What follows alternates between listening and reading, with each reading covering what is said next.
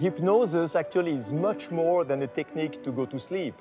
Uh, hypnosis is a technique that allows you to be in touch with yourself, to use your inner resources, to manage your emotions.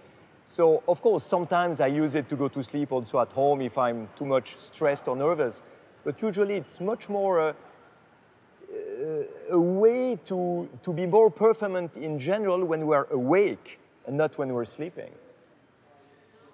Yeah, interestingly, a lot of questions uh, keep me busy, I mean, keep me awake at, uh, at night. And, uh, and I end up by training my breathing techniques to, to really calm down and go, uh, go back to sleep. It's something I'm sure I will use in the airplane as well.